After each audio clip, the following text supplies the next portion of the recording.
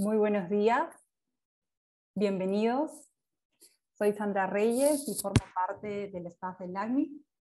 Muchas gracias por querer participar de esta actividad previa en el marco del evento del LACMI 37. Hoy se va a llevar a cabo el webinar Introducción a la consola de Linux. Nos acompaña en esta oportunidad Jorge Cano, él es arquitecto de software senior del LACMI, que realizará este webinar también quiero anunciar que dentro de estas actividades preparatorias al marco del evento tendremos el día de mañana el webinar sobre política. Antes de darle el pase a Jorge, quiero explicar brevemente la dinámica del webinar. Eh, la duración está programada y estimada aproximadamente entre un poco más de, eh, de una hora. Eh, teníamos planeado la duración de 120 minutos, pero de repente esto va a ser eh, de menos tiempo, así que los vamos a liberar un poco antes. Eh, recordarles también que la sesión será totalmente en español y es por ello que tendremos el servicio de interpretación y transcripción simultánea en tres idiomas, español, inglés y portugués. Van a poder acceder a este servicio en la barra de herramientas de la plataforma Zoom. Recordarles también que este webinar va a ser grabado y posteriormente van a poder encontrarlo en la página web del evento en actividades preparatorias. Eh, bien, yo creo que esto es todo por mi parte. Ahora sí le voy a dar la palabra a Jorge. Bienvenido Jorge y adelante, por favor. Muchas gracias Sandra. Muy buenos días a todos. Eh, como comentaba Sandra, mi nombre es Jorge. Este, si tiene alguna pregunta o un comentario, por favor háganmela, llevar, háganmela llegar por, a través de la sección de preguntas y respuestas. Y hoy vamos a tratar un tema que para mí me parece muy interesante y que es base para poder administrar y llevar equipos eh, que ofrezcan servicios en Internet eh, y que muchas veces eh, se toma como que es un hecho que la gente lo sabe y no necesariamente.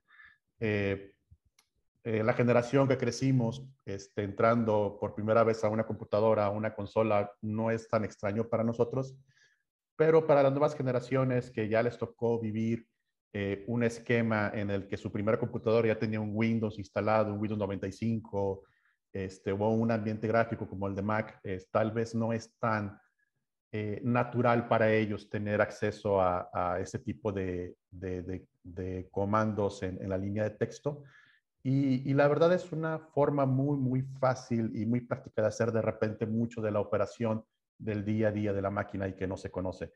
Este webinar está pensado principalmente para personas que no tienen ningún tipo de experiencia trabajando con, la consola, que es la primera vez que la han visto o que es la primera vez que la van a usar este, y que de repente por ahí tenían este, un poco de miedo de, bueno, quién sabe qué tan complicado debe ser o, se ve muy difícil de aprender. Realmente es muy sencillo. Eh, la consola está pensada justamente para poder darle una gran flexibilidad al usuario que pueda hacer una gran cantidad de tareas y de cosas de manera sencilla. Simplemente hay que memorizar algunos eh, comandos básicos para poder hacer la gran mayoría de las operaciones. Y si no, este, al final del día, no es necesario aprenderse todo de memoria. Eh, yo no me lo sé todo de memoria. Eh, simplemente hay que saber que los comandos existen, más o menos para qué sirve cada uno y ya si se quiere profundizar o hacer algo muy en específico, se puede este, consultar en Google, se puede consultar en la red. Hay un montón de información allá afuera. El mismo, la misma consola tiene un, esquema de ayuda, de, manuales que se pueden consultar. Eh, de repente si están un poquito rebuscadas las explicaciones, este, pero si ustedes lo desean, también pueden consultar en internet y van a encontrar información en español o en su idioma eh, natal sin ningún problema. Eh, voy a tratar de compartir la presentación.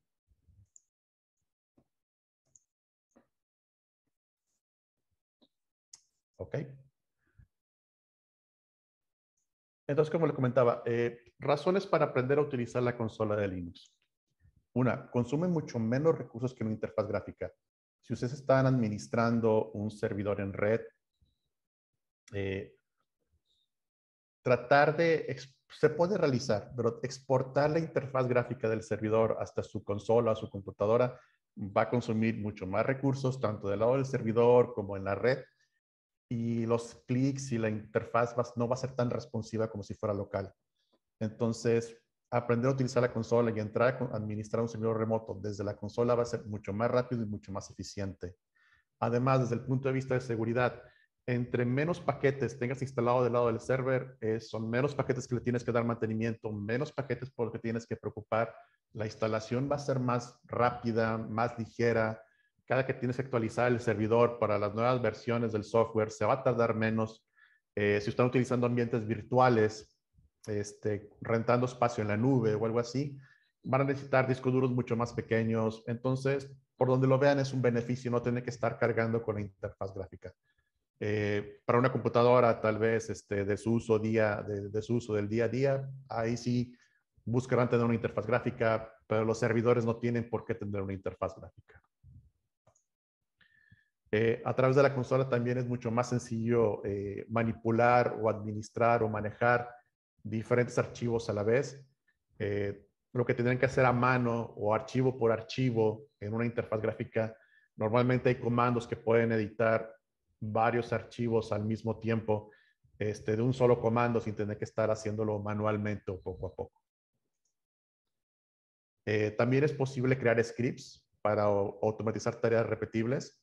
Eh, no sé si se han topado, de repente tienen tres, cuatro, cinco servidores eh, todos deben tener este, el mismo servidor web o deben tener la misma configuración este, o deben tener el mismo contenido y entrar a hacerlo manual a cada uno de los servers puede llevarse mucho tiempo, puede ser muy lento, puede ser propenso a errores porque de repente en un server se te olvidó correr un comando o se te olvidó darle clic en tal lado o habilitar tal opción.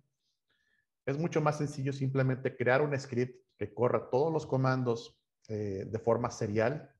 Se corre en una máquina y después se corre en la segunda, después se corre en la tercera.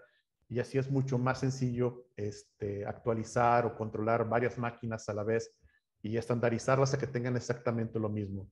Porque el script no se va a equivocar, el script no se le va a pasar este, correr un comando, no se le va a olvidar o no va a tener un typo o no va a tener un error humano que por ahí podamos presentar y es mucho más sencillo administrar varias máquinas a la vez eh, a través de scripts.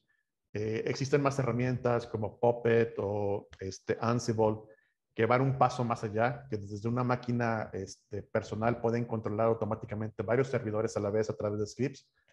Pero al final de cuentas, si ustedes saben cómo eh, crear esos scripts en consola o cómo manejar la consola, se les va a hacer mucho más sencillo aprender ese tipo de herramientas que cuando tienen una gran cantidad de servidores, lo van a necesitar o es muy, muy recomendable que lo usen y no estar administrando N cantidad de servidores de forma manual.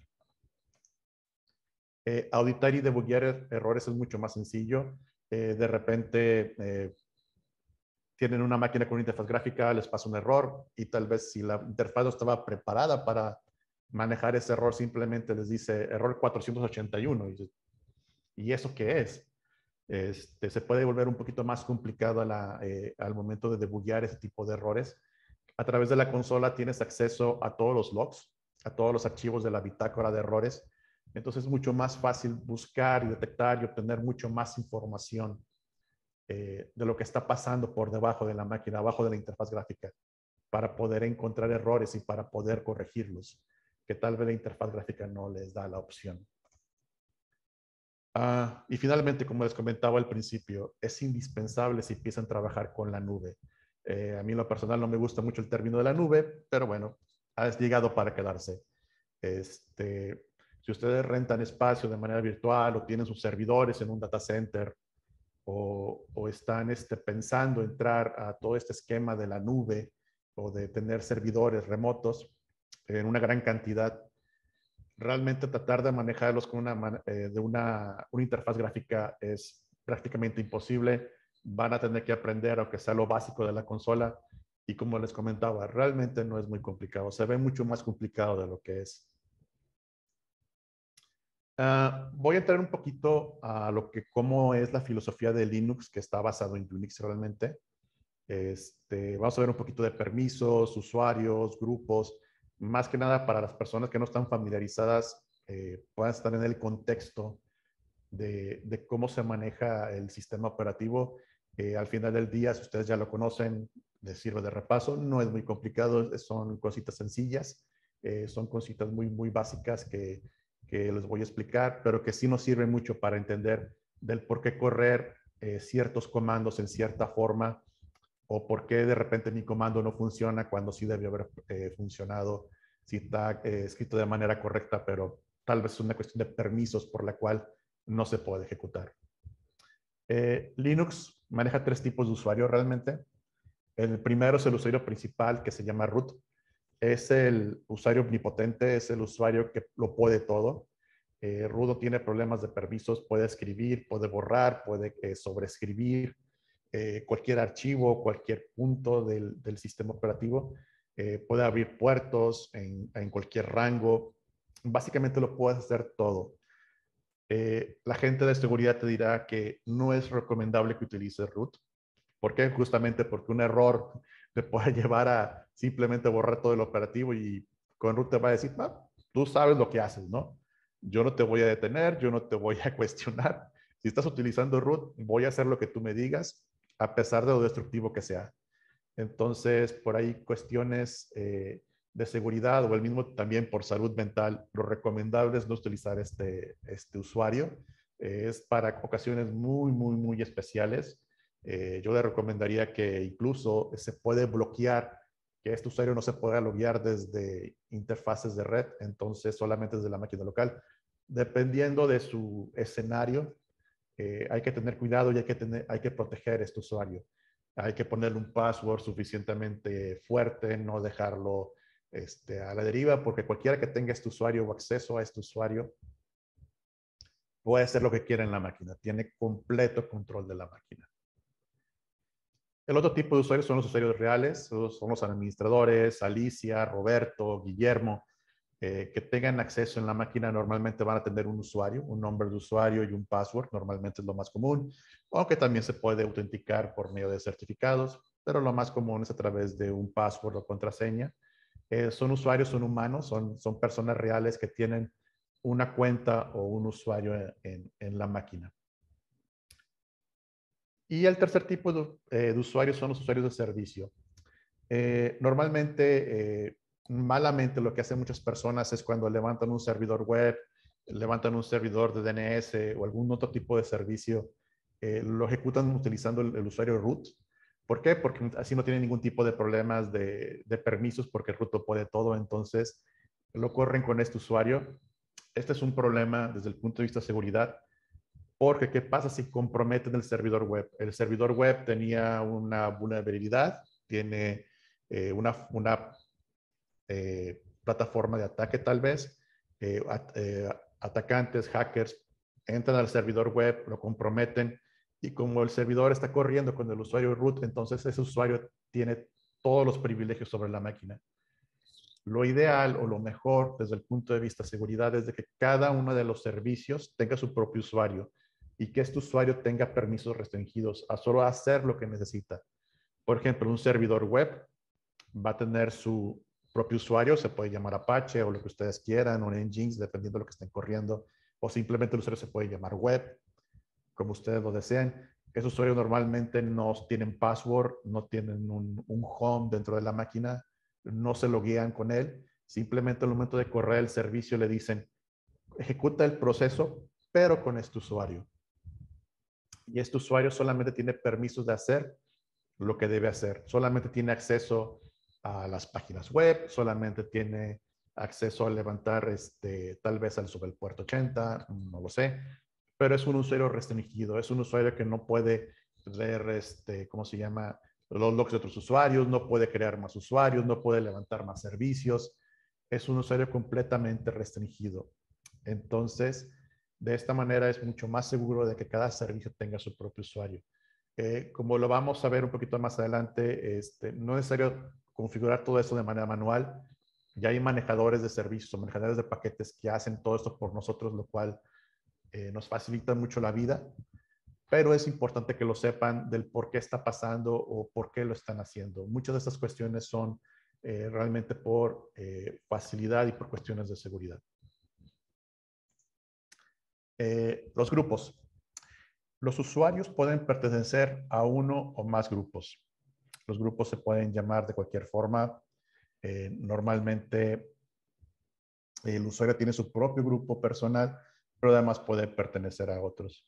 Eh, el comando groups de la consola nos sirve para saber eh, en qué grupos estamos enlistados. En este caso, por ejemplo, tengo un usuario que se llama Jorge eh, y están el usuario de Jorge, de CD-ROM, de sudo, audio, video, plug DVD, NetDB, Docker. ¿Por qué existen los grupos? en lugar, por ejemplo, imagínense ustedes que tienen unos servidores y tienen un grupo de administradores de sistemas en lugar de darle permisos eh, de acceso o permisos de administración a cada uno de los usuarios y de repente eh, cuando hay un permiso nuevo hay que hacer un ajuste, habría que ir a cada uno de ellos a cambiar el permiso. Lo más sencillo es crear un grupo de administración, asignar los permisos a ese grupo y simplemente a los usuarios nuevos y los agregando a ese grupo. Así estandarizan que todos sus administradores tienen exactamente los mismos permisos y cuando necesitan cambiar o ajustar los permisos eh, de ese grupo, simplemente van al grupo, lo cambian en un solo punto y ya todos los usuarios van a tener los mismos permisos. Entonces, esta es la idea de los grupos, es para facilitar la administración de, los permisos. Eh, les sugiero que sí lo hagan.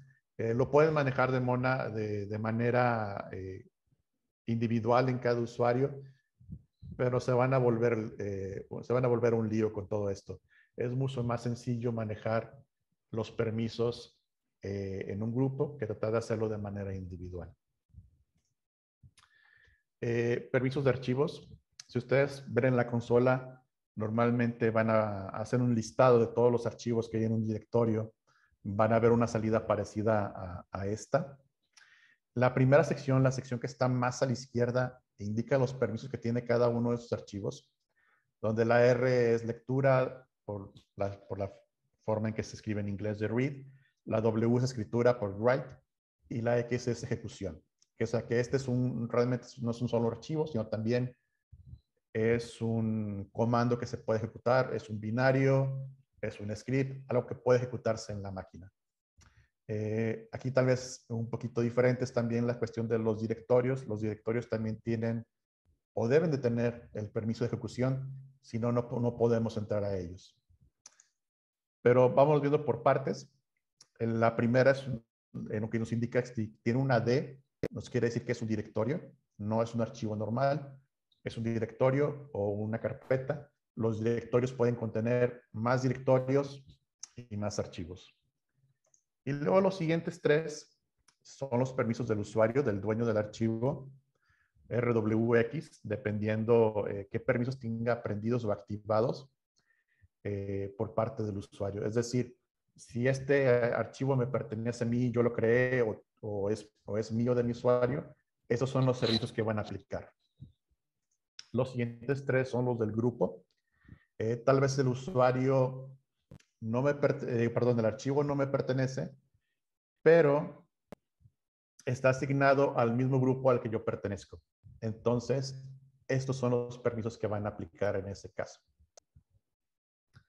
Y finalmente, los, permisos para otros usuarios. O sea, no, es, no soy el dueño y el archivo no está asignado a un grupo al que yo pertenezca. Entonces, estos son los permisos que van a aplicar en, entonces. Y se fijan, es usuario, grupos, otros. La manera que yo uso para recordarlo es simplemente recordándome el nombre de Hugo. Obviamente no hay una H, pero me acuerdo del nombre Hugo, es usuario, grupo, otro. Hugo. Es la forma muy, muy sencilla de, recordar el orden en el que están presentados los, los permisos. Eh, lo siguiente es, nos indica quién es el usuario dueño de este archivo. En este caso, en todos los, archivos, el usuario dueño es root. Y el siguiente es el grupo, que casi todos son este, root, excepto el último que pertenece al grupo Shadow. Este archivito, solamente como curiosidad, guarda todos los passwords de los usuarios en la máquina. Este, si se fijan, solamente root lo puede escribir y lo puede leer. Y en el caso del grupo Shadow, solamente las personas que pertenecen o los procesos que pertenecen a este grupo pueden leer el archivo. Todos los demás no pueden leer el archivo. Y tiene sentido porque al final de cuentas, este archivo contiene todos los passwords de los usuarios que están creados en la máquina. No están en texto plano, están hashados, pero aún así por seguridad solamente tienen acceso los que deben tener acceso. En este caso root y probablemente el proceso que realiza el logueo o la eh, que inicia la sesión de los usuarios en la máquina tienen acceso a este archivo. Todos los demás no lo pueden ni siquiera ni leer. Ah, la siguiente columna nos indica el tamaño del archivo. El tamaño en, bytes o en kilobytes o en megas. Ah, la última y finalmente la última modificación del archivo. Y lo que está más a la derecha pues es cada uno de los archivos. Ah, el sistema de archivos, como les comentaba, eh, el sistema de, archivos del sistema de Unix o de Linux está basado en una forma de árbol. Hay un directorio raíz y a partir de ahí se van creando todos los archivos y subdirectorios del sistema operativo. Eh, como les comentaba, eh, los directorios pueden tener más directorios y más archivos y así van formando una estructura de árbol donde hay un directorio raíz y de ahí se crea todo lo demás. Eh, cada usuario real normalmente tiene un directorio casa o home. Básicamente este es un directorio que tiene sus permisos donde el usuario puede escribir y, y, crear cualquier tipo de archivo o subdirectorio. Normalmente está asignado en la ruta slash home, aunque eso es configurable, pero lo más común es verlo en, en esa ruta. Entonces, por ejemplo, mi usuario Jorge, dentro de slash home, tengo un directorio donde mi usuario puede escribir y crear cualquier archivo que yo lo desee, archivos de texto, archivos de música, archivos de video. Lo que yo necesite lo puedo crear en ese lugar.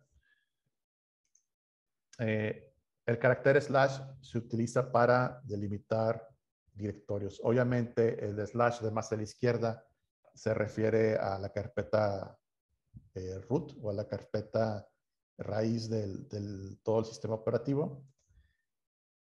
Y de ahí se pueden ir creando o pueden ir indicando eh, subdirectorios. Hay dos formas de mostrar estas rutas. Una de forma absoluta es, esto quiere decir, desde la raíz vamos indicando cuáles son los subdirectorios eh, divididos por slashes hasta finalmente llegar a un directorio o a un archivo o la forma relativa, que eso tiene que ver, eso depende de dónde nos encontramos actualmente en el, en el sistema operativo. Si nos encontramos, por ejemplo, en nuestro directorio casa o nuestro directorio home y no le ponemos el slash al principio, eso quiere decir que es una ruta relativa.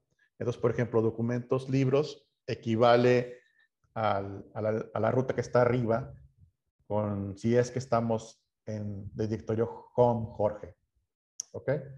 Esto es importante porque de repente, eh, cuando estamos creando scripts, lo ideal es utilizar rutas absolutas, es decir, voy a indicar la ruta completa de mi archivo, pero cuando estamos trabajando con la consola eh, de manera interactiva, lo más sencillo muchas veces es utilizar eh, las rutas relativas. Dependiendo de dónde nos encontremos, este, podemos indicar un archivo sin tener que definir toda la ruta. Ah, hasta este punto, ¿hay alguna pregunta o algún comentario? Por ahora no tenemos preguntas, Jorge. Genial. Ok, vamos a ver ahora sí lo que son los comandos en Linux. Eh, los comandos generalmente siguen el siguiente formato. Eh, no es un estándar obligado, entonces no todos los comandos siguen en este formato pero yo diría que la gran mayoría, o al menos los más usados, sí lo siguen. Básicamente se escribe el comando, eh, puede indicar opciones del comando utilizando el signo de menos. Son opcionales, obviamente, dependiendo del comando, este, varían. Y también pueden tener argumentos, que son los que siguen al final del comando. vamos a ver ahora sí en la consola cómo se correrían varios comandos. La idea aquí que tengo con este webinar no es hacer una revisión profunda o exhaustiva de todos los comandos y de todas las opciones que tiene cada comando, porque si no nos llevaría muchas horas. Eh, lo que quiero con esto es que como si fuera un buffet, simplemente darles a probar diferentes comandos que existen, eh, que vean cómo funcionan, que vean cómo se utilizan, algunas opciones de cada uno eh, de forma básica, para que sepan qué es lo que existe o qué es lo que hay allá afuera y en el momento que necesitan este, tal vez profundizar o hacer algo más específico con un comando, simplemente pueden consultar el manual o pueden consultar internet para complementar lo que ya saben. Este, pero mi idea es que se lleven una probadita de varios comandos y que puedan ver eh, qué es lo que existe y se den una idea en general qué es lo que pueden hacer desde la consola sin tener que utilizar la, la interfaz gráfica. Eh, normalmente esta es una consola, estamos viendo la, la consola de mi máquina local. Eh, en este caso es una Mac, pero normalmente nos conectamos hacia un servidor utilizando SSH. Usamos SSH, mi nombre de usuario, arroba, el nombre del servidor. En este caso es un servidor que tengo de manera local ah, aquí junto a mi máquina. Entonces puedo entrar con un simple password. Ya estamos adentro. Este caso es una, es una máquina con Debian. Puedo utilizar el comando whoami para saber con qué usuario estoy logueado. Con el comando groups puedo utilizarlo para ver a qué grupos pertenece. Solamente pertenece a dos grupos, a Jorge y a Sudo. Ah, con PWD puedo saber en qué directorio estoy. En este caso estoy en, mi carpeta home. El comando ls puedo ver eh, el contenido de la carpeta. Con cd me puedo cambiar de carpeta. En este caso me cambia a documents y con ls otra vez puedo ver el contenido. Con el comando cat puedo enlistar el contenido de un archivo, en este caso el archivo libros.txt. Muestro una serie de libros y sus autores, pero si quiero saber solamente las primeras líneas del, comando, del archivo, porque tal vez es muy grande, puedo utilizar head y me muestra nada más las primeras n líneas. Puedo indicarle con el argumento menos n cuántas líneas quiero que me muestre. En este caso solamente estoy mostrando las primeras tres líneas con CD, dos puntos, dos puntos, regreso al directorio padre, me regreso un directorio atrás. Y el comando list también puede listar el contenido de otros directorios. En este caso, por ejemplo, configs. Y puedo listar eh, también el directorio configs dentro, eh, digo, el directorio bind dentro de configs. Y esto, esto nos permite eh, listar contenidos sin tener que cambiarnos al directorio se fijan, estábamos estudiando el directorio home. Y si por alguna razón quieren ver el historial de todos los comandos que han corrido en la consola, pueden utilizar el comando history y les muestra todos los comandos que han corrido. ¿Ok? Ah, procesos. Eh, cada programa que corre en su servidor, en su Linux, levanta un proceso. Eh, estos procesos tienen un identificador único asignados por el operativo. El operativo se encarga de asignar recursos a los procesos CPU, memoria, espacio en disco, dependiendo de lo que necesite. Obviamente estos recursos son limitados, entonces el operativo busca eh, repartir lo mejor que puede este, estos recursos eh, a varios procesos. Por ejemplo, un servidor web corriendo en Linux tendría su propio proceso y le asignaría CPU o tiempo de CPU o de procesador dependiendo la carga que tenga. Eh, un proceso puede lanzar procesos hijos. Esta es una técnica que se utilizaba eh, hace mucho, realmente cuando empezó toda la cuestión de web. Normalmente un servidor web tenía su propio proceso y cada petición de usuario lanzaba un proceso hijo para atender a ese usuario.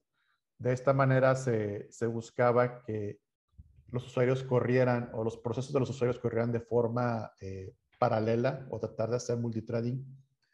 Eh, levantar procesos es un poco pesado para el operativo, entonces las nuevas técnicas ya no utilizan este esquema, este, utilizan otro tipo de esquemas, pero antiguamente era muy común. Eh, que los servidores web o los servidores de SSH o servidores DNS o lo que fuera, cualquier cosa que eh, tuviera que atender a usuarios, cada usuario levantaba un propio proceso o un propio thread para atender ese usuario. Este, ya no se hace así, pero antiguamente era muy común. Eh, vamos a ver un poquito sobre procesos en la consola. Tengo un script, ups, perdón. Tengo un script que se llama hola. Es muy sencillo, lo único que hace es escribir hola con un número consecutivo eh, cada, cada segundo. Es algo muy, muy sencillito. Pero a final de cuentas eso es un proceso. Y para entender el proceso, le pueden dar control Z. El proceso está suspendido, no, está, no fue matado el proceso, no fue detenido el proceso, solamente está suspendido. De esta manera, podemos regresar a la consola y poder correr cualquier otro tipo de comando, como en este caso ls para listar el contenido, pwd para ver este, en qué directorio estoy. Y con el comando fg puedo regresar a la ejecución del comando que estaba corriendo. ¿Ok? con fg, regreso al comando y continúa con lo que estaba haciendo. Ahora, si le doy control C, ahora sí detengo el proceso. ¿Ok?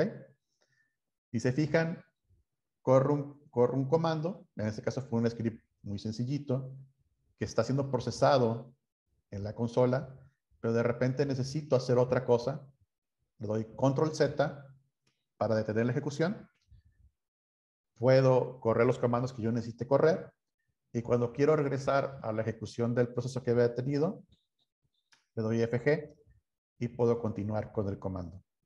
Si por alguna razón el comando se trabó o no tiene salida o simplemente va a estar corriendo indefinidamente hasta que yo lo detenga, lo pueden cancelar o pueden eh, detener su ejecución utilizando control C. ¿Ok? Uh, otra vez. Ok. Uh, vamos a ver en un ejemplito con Bind. Eh, Bind es un servidor de DNS eh, de código abierto. No es la idea este, hacer toda una explicación de cómo funciona y cómo se configura Bind. Simplemente lo estoy utilizando como un objeto, eh, como un ejemplo, perdón. Y la idea es ver cómo ejecutarlo, cómo configurarlo, eh, ver cómo, probar cómo si está corriendo realmente. Este, y, y que para que ustedes se den una idea de cómo hacer esto en consola. Eh, vamos a verlo de dos maneras. Esta es la forma manual. Después vamos a enseñar una forma un poquito más automatizada, pero vamos a verlo primero de forma manual. Uh, es un servidor, eh, como les comentaba, es un servidor DNS de código abierto, es muy utilizado. Puede funcionar de forma autoritativa o recursiva. Eh, y para muchos es la implementación de referencia de los estándares de DNS. Eh, si ustedes alguna vez se meten a, leer los estándares de DNS, algunos son fueron escritos hace mucho tiempo, ya por los 80s. Este, entonces, de repente la redacción puede ser un poquito ambigua y confusa. Eh, cuando esto pasa, lo que normalmente la gente hace es, fíjate que hace bind, y eso es lo que debe hacer. Eh, vamos a ver ahora en consola otra vez. Nos cambiamos a configs bind. Ahí tengo ya una configuración ya prehecha. Listamos el contenido del, del directorio con ls. En este caso, el archivo de configuración es el name.conf. Ahora, si se fijan, utilicé ls, pero le mandé una opción menos L. Lo que hace esta opción menos L es mostrarles la salida en formato de lista. Ahora sí les muestra los permisos, quién es el dueño de los archivos, el tamaño, la última modificación. Entonces les da mucho más información si le mandan el argumento o la opción menos L. Ups, sorry. no es muy amigable la parte de, de control. Entonces, como les comentaba, este, pueden listar con ls, pero con menos ls, menos l, les da un poco más de información. Y si se fijan, el tamaño está en bytes. Entonces pueden agregarle H para que les dé una lectura mucho más sencilla de los tamaños, en este caso con kilobytes. Con named pueden correr el servidor de DNS. En este caso ya está corriendo. Pero si fijan, nos bloqueó la consola. Entonces no podemos hacer nada más. Y si nos deslogueamos de la consola, el servidor se va a detener. ¿Por qué? Porque el proceso, nuestro proceso de consola que estamos corriendo lanza un proceso hijo que es, el que está corriendo como el DNS y al momento de que matamos el proceso padre también se mueren normalmente los procesos hijos. Entonces lo detuve con, lo detuve, perdón, con, con menos C, digo con control C y ya dejo de escribir, ya dejo de escuchar. Lo voy a volver a levantar, pero en este caso, sin la opción de menos G, y lo que hace con esto es que lo levanta, pero en un modo que es, que es el modo normal en el que funciona Bind, que se conoce como modo demonio. Es decir, no está ligado a, correr en la, consola de, de, forma normal, sino que se levanta como un proceso independiente. Y este proceso independiente no escribe en la pantalla, no recibe más este, comandos desde la línea, simplemente ya está corriendo de, forma independiente a, su consola. Y si ustedes se desloguean, el, el proceso va a seguir corriendo. ¿Ok? Ah, en este caso, como es una prueba, no estoy utilizando el puerto 53, que es el puerto normal en el que escucha DNS. Estoy utilizando el puerto 8053 para poder hacer la prueba. Eh, y para poder ver que el proceso está corriendo o qué procesos están corriendo con su usuario en la máquina, pueden utilizar PC, PS-X. En este caso, si ven el proceso con el PID o el identificador de proceso 220, 927, van a ver que está corriendo el bind. Ese otro comando, netstat, eh, nos sirve para enlistar todos los procesos que están escuchando en un puerto determinado en la máquina.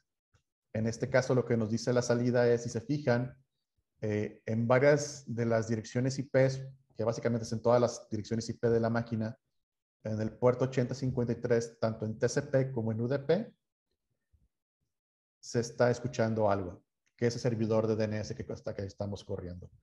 Por ahí vemos por ahí también un 22, que es el servidor de SSH. ¿Ok? Entonces, con stat podemos ver qué está corriendo, eh, qué está cuáles puertos están siendo escuchando en la máquina. Con dig podemos hacer una consulta directamente al servidor de DNS para ver qué nos responde.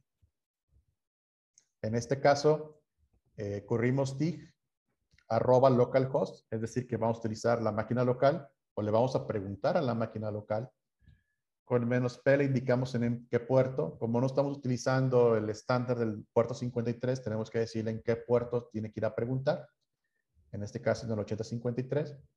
Y la consulta. Estoy preguntando por el dominio example.com y estoy pidiendo su resolución a IPv4. Y en este caso, pues ya el, servidor nos respondió. Y aquí vemos la respuesta. Eh, de la resolución de ese nombre de dominio a, esta dirección de, IPv4. Como les comentaba, no voy a entrar mucho a cómo funciona el DNS o el por qué. Lo que me interesaba más es que vieran cómo se levanta un proceso al momento de ejecutarlo y cómo eh, se queda corriendo de manera independiente a nuestra consola eh, de forma este, virtual, por así decirlo, en, el background y que no está ligado de ninguna forma a, a nuestra consola y que si nos deslogueamos, el servicio va a seguir ejecutándose. Ahora tenemos un problema. ¿Qué pasa si queremos detener el servidor por alguna razón? Ya no es necesario, lo tenemos que dar de baja. Este, hay que cambiar la configuración y hay que reiniciarlo. Si ya no tenemos este, ningún contacto con él, con ese proceso, porque lo lanzamos y ya se quedó corriendo de forma independiente. No podemos darle FG para tratar de recuperar el, control del proceso. está completamente aislado a nosotros. Entonces, la forma en que podemos detener ese proceso es a través de su identificador de proceso, que lo podemos consultar con PS-X, como lo había visto que es el 927, y con kill-9 podemos detener o matar el proceso.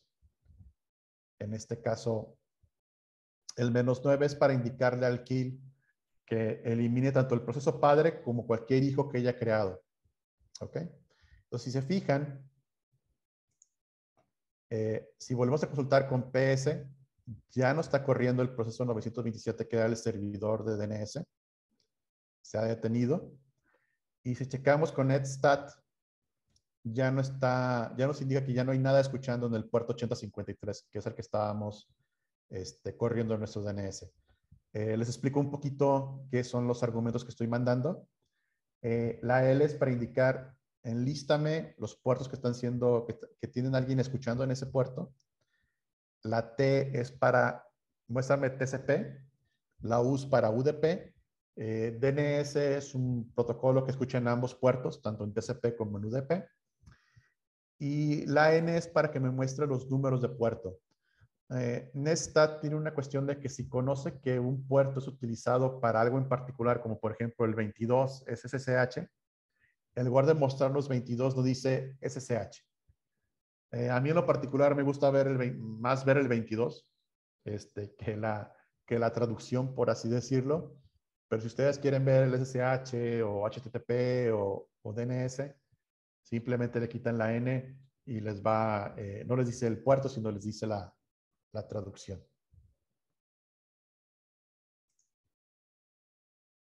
¿Ok? Ah, aquí estoy haciendo el ejemplo como sin la N. Y se fijan, ya nos dice 22, nos dice SSH, no nos dice 68, nos dice boot PC. Eh, me regreso a, mi directorio home. Y se fijan, no le di eh, cd dos puntos, cd dos puntos para regresar a home, simplemente le puedo indicar con la tilde eh, que me quiero regresar a home a través de la tilde. Y de esa manera no importa en qué parte del, del sistema operativo o del sistema de archivos del file system me encuentra. Si le doy cd y la tilde, me va a mandar a mi carpeta home o en mi carpeta casa. ¿Ok? Ah, ¿Hay preguntas hasta este punto? Sí, Jorge, tenemos preguntas. Tenemos una pregunta de Graciela Martínez. Eh, Graciela eh, pertenece al sector de LACNIC, su coordinadora, y lo que justamente nos está preguntando es lo siguiente. La consulta DIG, ¿se puede hacer igual aún si no conocemos el puerto, correcto? O sea, lo que ella pregunta es si se puede poner dig arroba localhost example.com, por ejemplo, por lo que se esté consultando, o cómo es el, eh, por el registro A, o cómo es el localhost, es necesario el puerto. Si ponemos el localhost, ¿es necesario el puerto en ese caso? Ok, es una muy buena pregunta. Eh, lo que pasa es que tuve que definir en qué puerto más mandar la consulta porque no utilicé el puerto 53 que es el estándar. Eh, si ustedes a DIG no le dicen a qué puerto consultar, va a ir a consultar al 53 porque ese es el estándar. Entonces, como nuestro servidor estaba escuchando en el puerto 8053, no en el 53, por eso fue necesario indicarle a DIG a qué puerto mandar la consulta. Este, pero en un escenario normal, en el que están probando un DNS normal, sí no es necesario indicar el puerto, DIG lo va a mandar automáticamente al 53 porque es el estándar. Eh, para este ejemplo, este, utilicé otro puerto más que nada porque eh, tengo otro servidor de DNS ya corriendo del 53, aunque ahorita está detenido, y no quería ningún tipo de conflicto y era una prueba rápida. Entonces, por eso lo corrí en otro puerto. Pero normalmente era un escenario real o un escenario eh, normal de producción. El puerto que se debe utilizar es el 53 entonces no es necesario que al DIG le indiquemos qué puerto utilizar, porque él ya sabe que el estándar es el 53 y va a realizar la consulta directamente a ese puerto. Muchas gracias, Jorge. No tenemos más preguntas por ahora. También Grace nos dice que, gracias y que está perfecto. Gracias. Ah, genial. Ok, vamos a continuar. Eh, manejadores de paquetes. Eh, la gente de las distribuciones de Linux eh, se ha dado la tarea de, de crear paquetes. Esto es no tener que bajar el código fuente, compilarlo, configurarlo a mano, este, bajar dependencias, eh, tener que saber un poquito de repente de, desarrollo o de codificación de programas para poder entender qué está pasando, para poder instalar un servidor web o un servidor DNS, un servidor de correos. Eh, normalmente ya forman paquetes que ustedes pueden descargar ejecutar y les va a instalar este, automáticamente ese servicio que ustedes necesitan el manejador se va a encargar de, descargar el paquete, lo que ustedes quieren instalar, descargar todas sus dependencias y ejecutarlas de forma tal que saben que va a funcionar en su distribución de, Linux. Eh, existen varios, como APT, que eso es muy común en Debian y en sus derivados, como Ubuntu, como Mint, este, creo que OpenSUSE también lo utiliza, eh, Joom, este es muy utilizado por toda la familia de Red Hat, eh, lo que es este, Red Hat, Fedora, uh, CentOS, utilizan este manejador. Eh, algunas otras distribuciones utilizan Pacman y algunas otras utilizan APK, como lo es este, Alpine Linux. Eh, ¿Cuál es mejor? Es una cuestión de gustos. Todos funcionan de manera muy similar. Este, la idea es facilitarle al sysadmin o al administrador de sistemas poder instalar paquetes de forma sencilla y de forma estándar. Este, los, la gente que mantiene estos paquetes en estos repositorios se encargan de que todo va a funcionar de manera correcta, que se van a bajar las dependencias correctas, que todo se va a hacer match y cada que eh, se actualicen los paquetes, porque también se pueden actualizar a través de estas herramientas, eh, se van a actualizar de manera correcta. Obviamente no es 100% confiable, siempre es bueno probar en una máquina que no es de producción este, antes de correr en producción para ver que todo funcione correctamente, pero normalmente es confiable y, es una forma muy, muy sencilla de, instalar paquetes nuevos o servicios nuevos en su servidor sin tener que compilar el código fuente a mano. Eh, vamos a ver un pequeño ejemplo. Vamos a primero actualizar el sistema operativo. Siempre es bueno hacerlo. Ahora, eh, para correr el comando se utiliza apt update. En este caso este es un Debian, entonces utilizamos apt. Eh, decidí usar Debian porque es en lo personal la distro que más me gusta a mí, pero créanme que es una cuestión simplemente de gustos. Eh, no existe la distribución perfecta, no, no existe la mejor distro. Es dependiendo de sus necesidades y lo que están más familiarizados o los que más les gusta, esa es la distro que deben usar. Este, por ahí hay guerras de que mi distro es mejor que la tuya y que no sé qué. Yo la verdad no creo así. Simplemente se encuentra la que te sirve más a ti. Hay distros este, enfocadas a seguridad, hay distros que están enfocadas más hacia la cuestión de una, una, de una computadora de escritorio, de un servidor que sea fácil de utilizar. Busca la que más te gusta a ti, prueba unas dos, tres, cuatro distros, ve cuál es la que más te gusta y aprende a usarla eh, de forma más, este, eh, de forma más completa. Realmente todos los comandos que hemos visto hasta el momento son universales en todas las distros, entonces eh, lo que se aprende, a pesar de que estoy utilizando Debian, se usa exactamente igual en, en, otras distros de Linux. Incluso muchos de los comandos que hemos visto funcionan en la consola de, de Mac. Entonces, eh, es algo que se funciona más o menos universal. De repente, Mac, Mac al estar este, basado en BCD, no tanto en Linux, los comandos varían un poquito, eh, más que dentro de distros, pero la idea es muy, muy similar o muy, muy parecida. Lo que sí varía de entre distros es principalmente el manejador de paquetes en este caso apt, no es exactamente igual a Yum o igual a APK o a Pacman.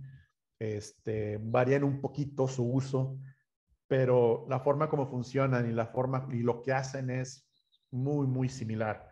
Entonces, si ustedes utilizan CentOS o utilizan algún derivado de Fedora o utilizan algún otro manejador, no se preocupen, los conceptos son los mismos, simplemente eh, la línea de comando, lo que escriben es un poco distinto. Este, incluso, por ejemplo, para Joom, creo que el comando exactamente es casi igual, nada más en lugar de apt utilizan Joom, Joom Update. Este, en ese sentido es muy, muy similar, pero sí varía un poco. Entonces, eh, si usted, su distro favorita es más algo basado en, en Red Hat, eh, simplemente consulten el manual de Joom y van a ver que todo lo que estamos haciendo con apt se puede utilizar, se puede hacer en Joom simplemente con algunas variantes. Ah, ahora, corrí el comando apt update y en este caso me marca un error. Si se fijan, me marca error 13 de permisos. Esto es porque corrí el comando con mi usuario normal, con el usuario Jorge. Eh, mi usuario no tiene permisos de administrador por default. Esto es por seguridad y porque no la vaya a llegar yo, no voy a borrar un archivo importante de repente eh, por error. Entonces, eh, para poder actualizar el sistema, para poder actualizarlo, para poder instalar nuevos paquetes o nuevos servicios, se necesita eh, permisos de administrador. Una forma sencilla de obtener permisos de administrador es con el comando sudo sudo lo que hace es, eh, lo que me indiques, lo voy a correr como si fueras root. No eres root, pero lo voy a correr como si fueras. Obviamente, root tuvo que haberme dado el, privilegio de pertenecer, en este caso, al grupo de sudo para obtener permisos para poder ejecutar el comando sudo. Este, pero es un paso extra que tengo que hacer para, para poder actualizar el sistema.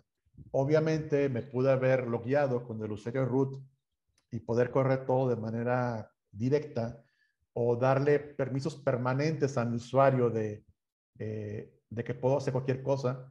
Sin embargo, por seguridad y hasta por evitar un error de dedo de repente que borre una o que voy a borrar un archivo que no debo, este, es mejor que todo lo sensible lo haga a través de sudo en lugar de hacerlo directamente con root o que mi usuario tenga permisos de más. En este caso, vuelvo a correr el comando apt update. En este caso, este, indicando primero con sudo para decirle que lo corra con permisos de root. Y ahora sí va a poder ejecutar el comando sin problema. Me pide mi password para confirmar que sea yo. En este caso me dice que hay tres paquetes por actualizar. Entonces doy apt upgrade y lo que va a hacer es bajar las nuevas versiones que existen de estos comandos o de estas actualizaciones que existen. Si se fijan, es una forma muy sencilla de mantener su, su servidor actualizado. Y ahora vamos a instalar lo que es Bind y DNS Utils, que son el comando dig y ese tipo de cuestiones. Eh, me dice que confirme que quiero instalar este 28 megas de, paquetes. Le digo que sí. Y en un momento debe terminar. Y ya todo instalado. Ahora vamos a instalar, no sé, también quiero un servidor web. Vamos a utilizar, a, instalar Apache. Y en este caso le mando el argumento menos y para que no tenga que darle la y de confirmación, sino que lo haga automáticamente. Entonces, si se fijan, en, en esta pequeña ejemplo, he instalado dos servicios, DNS Combined y un servidor web con Apache, de manera muy sencilla utilizando EPT, y también actualicé el sistema operativo para mantenerlo al día. Es muy importante siempre actualizar el sistema operativo antes de instalar para tener las últimas versiones de las dependencias instaladas y este, instalar de forma sencilla los servicios a través de apt.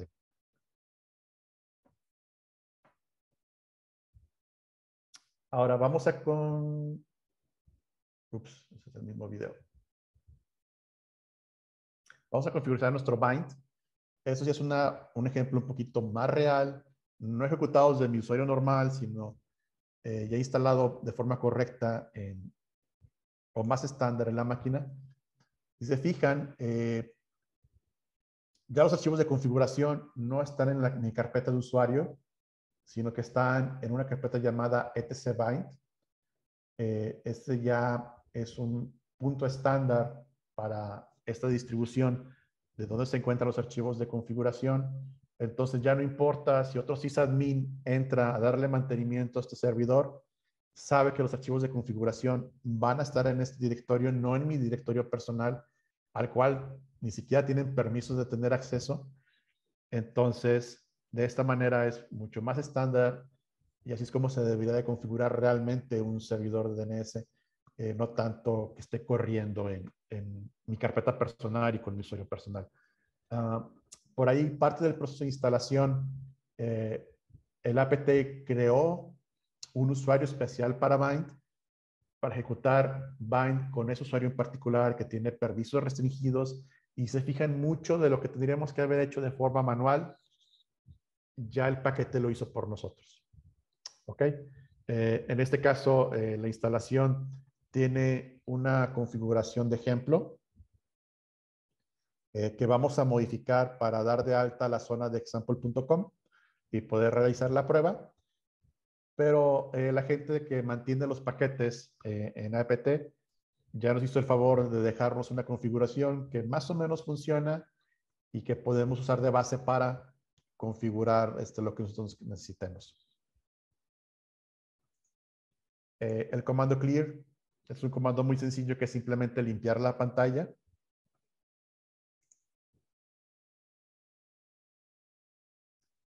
Y lo que a mí me gusta hacer, bueno, antes vamos a ver el contenido de los archivos de configuración utilizando CAT. En este caso, eh, la configuración está partida eh, en tres otros archivos, opciones, local y default zones. Aquí nos dice que aquí podemos realizar la, configuración de opciones del servidor y nos recomienda que las zonas que demos de alta, las demos de alta en este otro archivo, en namecontent.local. Eh, antes de modificar los archivos de configuración, me gusta sacarles un backup. ¿Por qué? Porque nunca falta de que cometa un error. Entonces siempre es bueno tener un respaldo o un backup de los archivos originales antes de modificarlos. En este caso simplemente estoy usando el comando cp para copiar. Le digo el nombre del archivo que quiero copiar y el nuevo nombre. Y ahora utilizando VI, que es un editor de texto, vamos a modificar el primer archivo de configuración. Ahora, aquí nos marcó error de que estoy cambiando un archivo de lectura. Realmente ese no es el problema. El problema es que me metí a modificar un archivo cuyo, cuyo dueño es root y yo no tengo permisos de escritura sobre ese archivo. Entonces, los cambios que iba a hacer en ese archivo no los iba a poder grabar porque no tengo permiso de escritura. Entonces, lo que voy a hacer es, en lugar de mandar llamar el comando vi directamente, que es el editor, voy a decirle sudo vi y ahora sí puedo editar el archivo como si fuera root. ¿Ok? Y se fijan, ahora sí ya no me dice que estoy modificando un archivo de solo lectura, Voy a configurar que no es un archivo de recursivo, que no es un servidor recursivo, perdón. Y voy a indicar que no voy a permitir que la zona sea transferida por nadie. ¿Ok? Eh, vamos a ver un poquito VI más adelante, pero con W escribo el archivo y con la Q me salgo del editor. Ahora voy a modificar el archivo conf local y le voy a indicar que quiero dar de alta la zona example.com diciéndole que es un que es el tipo master, o sea que este servidor va a ser el maestro. Y le indico que mi, el archivo de zona está en esta ruta. La recomendación es de que sea una ruta absoluta para no haber una confusión. Otra vez con dos puntos WK para escribir, para escribir el archivo y salir del editor. Y ya lo último lo que vamos a hacer es copiar de mi directorio home Si se acuerdan, podemos utilizar tilde. El voy a escribir toda la ruta del, del directorio home con fix y bind. Voy a copiar la zona a este directorio. El punto indica este directorio. ¿Ok? Entonces, ups. Puedo correr comando name d checkconf para ver si hay algún error. Si no sale nada es que todo está correcto. Entonces, ahora sí, puedo darle sudo system control status bind 9.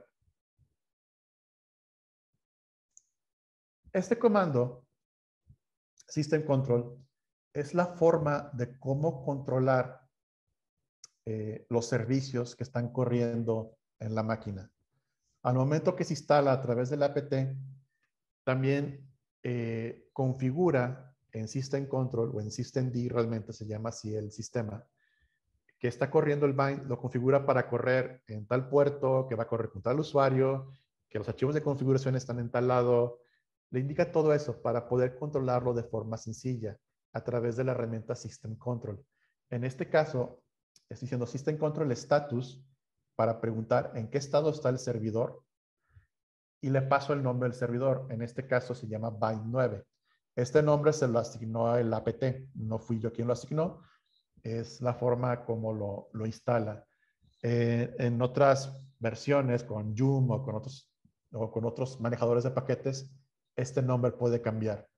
Pero en Debian y este, utiliza este nombre, Bind9. 9 porque es la versión que, que está corriendo. Eh, en este ejemplo que estamos viendo, eh, si se fijan, lo que está en rojo dice que está, eh, hubo un error al momento de correr el, el, bind o el servidor. Esto es porque antes de grabar este video, hice una prueba y cometí un error en la configuración y justamente este, el servidor en este momento no está corriendo. Sin embargo, con los cambios que hice en la configuración, eh, si le doy eh, que reinicie el servicio o, que, o arrancarlo nuevamente, una vez más con, con System Control, ahora sí debe de correr el, el, servidor sin ningún problema. En este caso voy a dar el status, le doy restart. Y si volvemos a consultar, ahora sí nos debe decir que todo está corriendo sin ningún problema.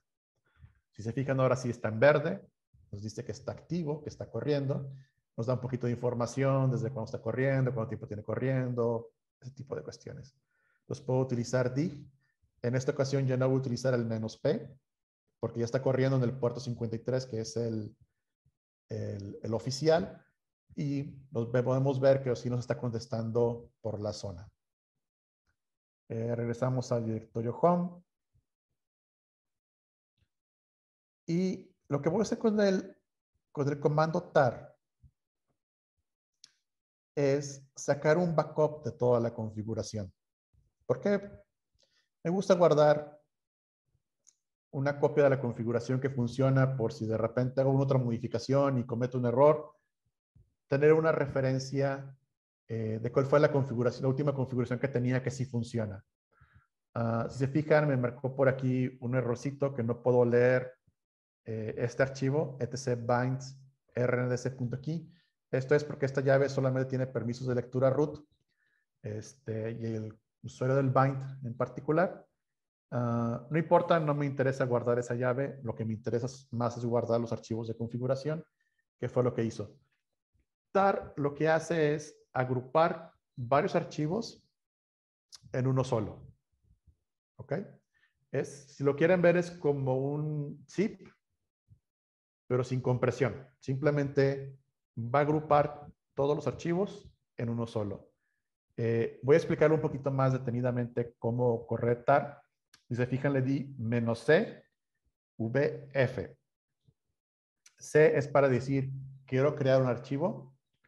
La V es para que me muestre en consola los archivos que estoy guardando. Y la F es para indicarle el nombre del archivo. En este caso lo nombré bind-confix.tar.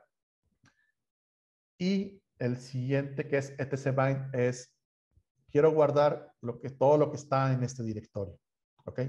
Entonces, de esta manera, TAR lo que va a hacer es agrupar todos los archivos y subdirectorios que están dentro de tcbind en un solo archivo llamado bind.configs.tar. ¿Ok? Creo que lo que sigue es simplemente listar eh, el archivo. Si la memoria no me falla.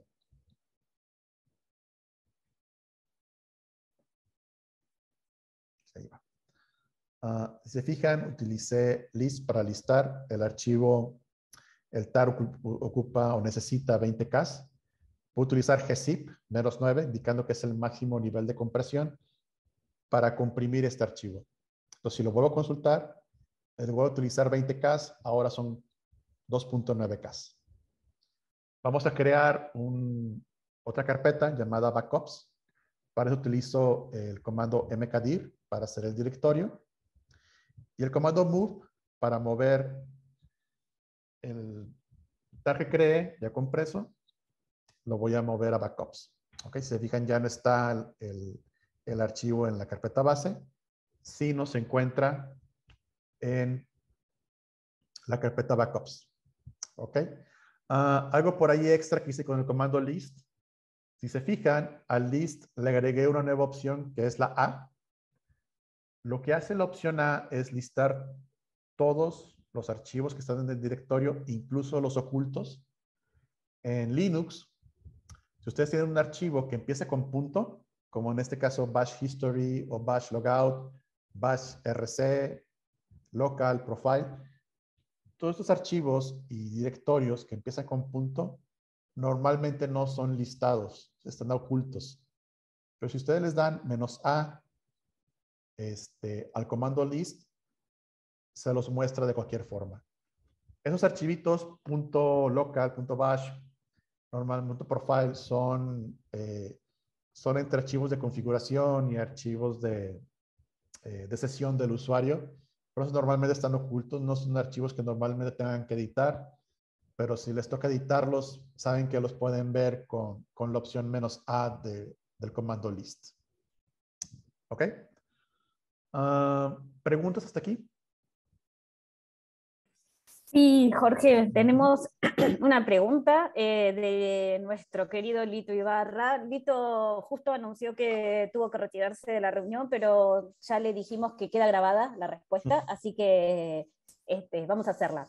Algo de esto ya nos comentaste hace un ratito, pero está muy bueno centralizar todo en una sola respuesta, porque él pregunta, ¿Las distintas implementaciones de Linux ofrecen las mismas opciones en los comandos o hay variantes importantes? Eh, casi todos utilizan los mismos comandos. Eh, yo diría que la gran mayoría son los mismos comandos. Eh, la gran diferencia está en el manejador de archivos, normalmente. Como les comentaba hace, hace rato, este, derivados de Debian, como es Ubuntu, el mismo Debian, Mint, este, OpenSUSE utilizan apt como manejador de paquetes. Eh, en el caso de los derivados de Red Hat, utilizan Joom. Y por ahí existen otro que otro manejador de archivo en otras distros que no son tan comunes o tan usadas o que no tengo tanta experiencia. Entonces, esa es la principal diferencia con lo que hemos visto el día de hoy. El, simplemente el manejador. El comando list, copy, move, QMI, PWD, CD, eh, move, PS, el kill. Esos comandos son estándar. Este los, los van a encontrar en todas las distros. Eso no cambia. La mayor diferencia es el manejador de paquetes y cuando instalan algo a través del manejador de paquetes, eh, no siguen exactamente la, las mismas lugares para los nombres de los servicios o para eh, la forma de cómo configurarlos, de repente sí varían. Eh, esto es porque, a fin de cuentas, pues se les asigna un nombre al momento de crear el paquete y no siempre utilizan el mismo nombre, ¿no? Por ejemplo, cuando instalamos el Apache este, en, en apt, en Debian, el nombre del paquete es Apache 2. Eh, si, memoria no me, si la memoria no me falla, en para todas las distros basadas en Red Hat, el paquete se llama HTTP. HTTP o HTTP2, no recuerdo. No se llama Apache, se llama HTTP. Entonces, ¿cuál es el nombre? El que definió la persona que creó el paquete. Entonces, eso puede variar de distro a distro. Pero al final del día hacen lo mismo, instalan un servicio que tiene un nombre que se configura de cierta manera que ustedes pueden entrar a configurar a través de archivos. Eso no cambia. Tal vez el nombre del archivo varía y el lugar va a variar, pero la forma de configurarlo es, si no es igual, muy, muy similar. Eh, solamente es cuestión de ver el, manual o la documentación del servicio que ofrece el manejador de paquetes y, o las mismas personas que mantienen eh, el, el, servicio o el código tal cual, este, para ver las pequeñas diferencias. Pero si entienden los conceptos que estamos haciendo o qué está pasando, es simplemente saber, ah, ok, eh, lo que llego en Debian con de esta manera, ¿cómo se hace en Fedora? Y lo vas a encontrar en Google sin ningún problema. Este, pero el resto de los comandos, como les comentaba, eh, toda la cuestión de copy, de movimiento de archivos, de crear, de permisos, de usuarios, todo eso es estándar en todas las distros normalmente.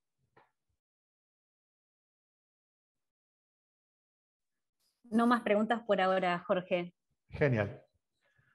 Ok, vamos a continuar.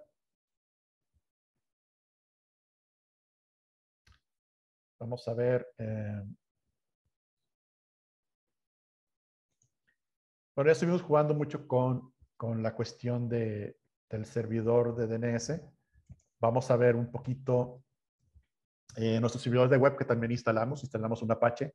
Eh, por default, eh, en Debian al menos, cuando instalan un servidor Apache, les, les pone una página eh, default que te dice bienvenido Apache, bla, bla, bla. Es una página muy, muy sencillita este, que tiene información sobre el, el, el servidor en sí. Obviamente, cuando ustedes van a instalar una página web o un servicio que utiliza web, esta página default se, se retira por lo que ustedes quieren servir en su servidor. Pero una forma de, consultar lo que está sirviendo el server de forma sencilla es a través del comando curl. El comando curl es descarga este archivo de servidores web. En este caso simplemente le damos eh, el nombre del servidor, http el nombre del servidor, y nos debe de descargar la página web que está por default. Si se fija, nos regresó el HTML, es decir, no está interpretándolo de ninguna manera, simplemente nos regresa la, información del, de la página default de gestión del servidor y con eso podemos comprobar que el servidor está corriendo por lo menos. Ahora, tratar de leer esto de repente no es muy amigable, entonces curl tiene otra opción que es menos i mayúscula que es en lugar de bajar o de mostrarnos el contenido de la página web, siempre nos dice, solamente nos da la información del header o de los headers. En este caso, HTTP 1.1200 quiere decir que todo está corriendo de forma normal. Este nos da un poquito más de información. Eh, estoy instalando un navegador de consola que se llama Lynx. Este, este navegador es como un Chrome o como un Firefox solamente que es para consola. Obviamente no puede mostrar imágenes, pero interpreta y te muestra lo mejor que puede eh, las páginas web. En este caso estamos viendo eh, la página default que nos instaló el servidor de Apache. Sin embargo, podemos ver cualquier página web. En este caso, por ejemplo, podemos entrar a Wikipedia. Aquí de repente nos pregunta qué onda con las cookies, que si las queremos aceptar pero podemos consultar mm, cualquier página web. El resultado varía, obviamente, este, eh, hay cosas que pueda hacer y que no pueda hacer, pero podemos usar Wikipedia, podemos buscar, en este caso podemos buscar LACNIC en Wikipedia. Este, podemos realizar la consulta. Aquí va un poquito lento, pero ya estamos viendo la página de Wikipedia de LACNIC. Eh, si se fijan, eh, obviamente intenta hacer lo mejor que puede en cuanto a los estilos y este, indicar cuáles son ligas, eh, pero podemos navegar ya sea de liga a liga o de, o de utilizando espacio para cambiar la siguiente página. En este caso navegamos de la página de LACNIC, navegamos a la página de NICBR. Y es una curiosidad simplemente, o sea, obviamente no es para el día a día, pero es una forma divertida de a través de la consola poder consultar una página web y que, y se fijan, este, la consola es suficientemente poderosa como para poder tener un navegador muy funcional, obviamente con sus limitantes de que no puede mostrar imágenes, ni tampoco diferentes tipos o tamaños de letra, pero nos puede dar una, este, una, una referencia rápida o una consulta rápida si lo necesitamos con, con este browser o navegador llamado Links. Ah, creo que es lo que ya vimos. Eh, vamos a ver un poquito, eh, vamos a entrar un poquito ahora sí a la, a la carnita de cómo utilizar los comandos en conjunto. Si se fijan, hasta ahorita hemos usado eh, comandos de forma unitaria, así corremos un comando y vemos el resultado, corremos, corremos un comando y vemos el resultado. Sin embargo, Unix que es en lo que está basado Linux, eh, tiene una filosofía. Dice que cada comando debe ser una sola cosa y la debe hacerla bien. Es decir, los comandos no deben ser muy complejos, deben ser sencillos, hacer solamente una cosa. Y estos comandos se pueden unir, es decir, la salida de un comando o de su resultado puede ser la entrada de un segundo comando. Por ejemplo, comando 1, agrego este, un pipe a comando 2 y así puedo ir concatenando los comandos que yo quiera. En este caso, por ejemplo, la salida del comando 1 va a ser la entrada del comando 2 y la salida del comando 2 va a ser la entrada del comando 3 y así lo podemos ir en, cascada, ¿no? Hasta tener n comandos. ¿Ok? Entonces, vamos a ver un ejemplito. En este caso vamos a crear un directorio con mkdir llamado temp, temporal.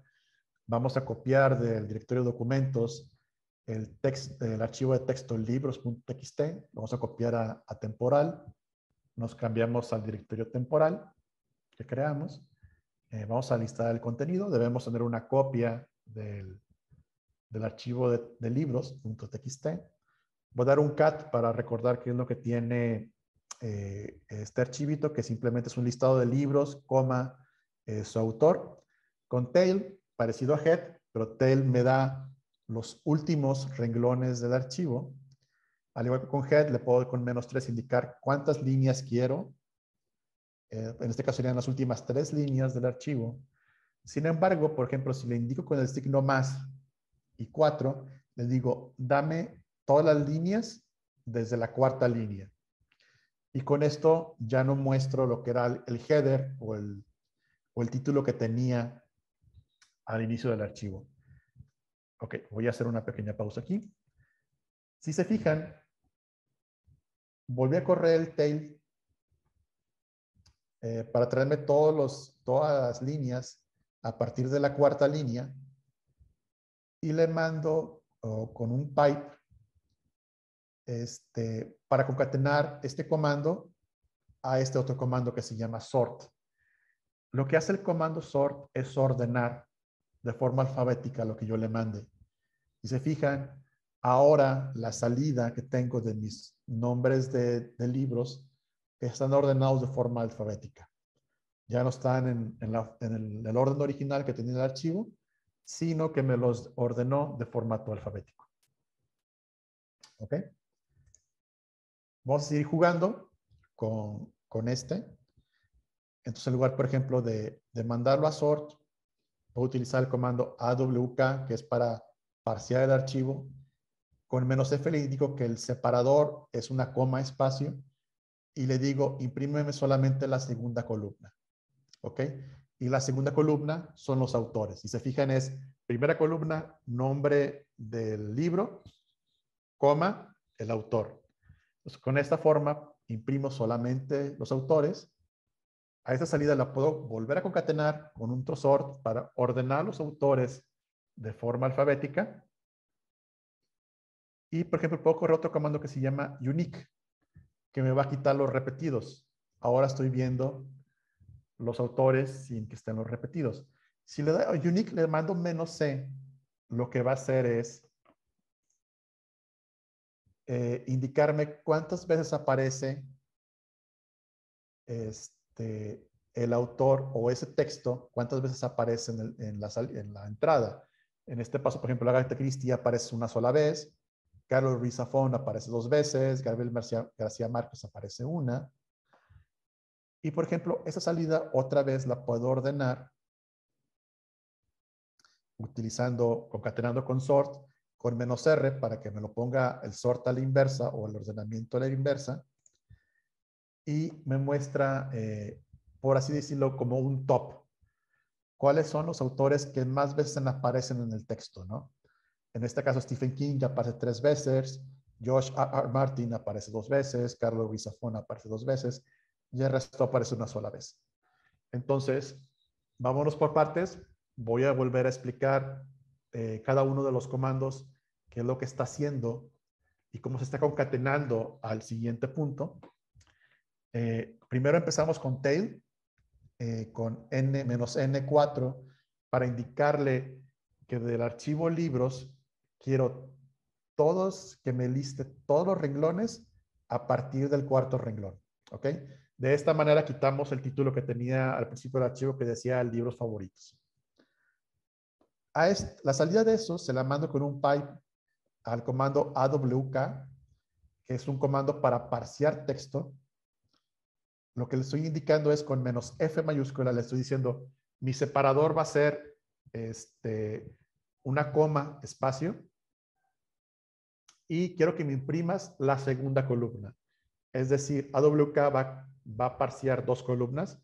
La primera era el título de los libros y la segunda es eh, los autores, pero quiero que me imprimas en pantalla o en consola solamente la segunda columna que son los autores. ¿Ok? A esta salida con un pack la mando a ordenar con el comando sort. Y después, una vez ordenado, se lo mando el comando unique menos C para que me, eh, para que me quite los repetidos y me indique cuántas veces ese texto se encontraba en, la, en la entrada. En este caso, este, nos va a decir cuántos libros o cuántas veces aparece ese autor en el texto. Y al final, eso se lo mando otra vez al comando sort, esto, esta vez con la opción menos R, para decirle que me ordene los resultados, pero de forma inversa. De esta manera, primero me imprime el 3, luego el 2 y luego el 1.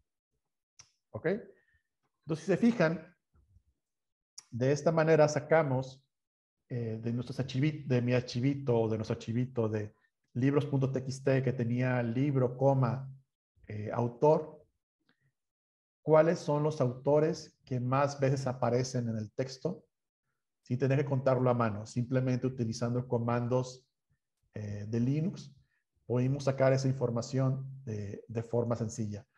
Ahora, en un archivito tan pequeño como este, pues no es tan difícil contarlo a mano, pero supongamos que ese es un archivo muy, muy grande, de cientos de libros, por hacerlo a mano iba a ser medio complicado. Entonces, de esta manera pudimos hacer de forma fácil, sencilla, este, rápida, eh, utilizando simplemente comandos de, Linux, concatenándolos a través de pipe. Ahora, si queremos guardar el resultado en un archivo, también se puede. Se utiliza, voy a utilizar pipe, voy a utilizar el signo eh, mayor que para decir que la salida lo voy a mandar a un archivo llamando cuentas.txt. ¿Ok? Entonces, si vuelvo a consultar eh, el directorio, veo que tengo un archivo llamado cuentas.txt.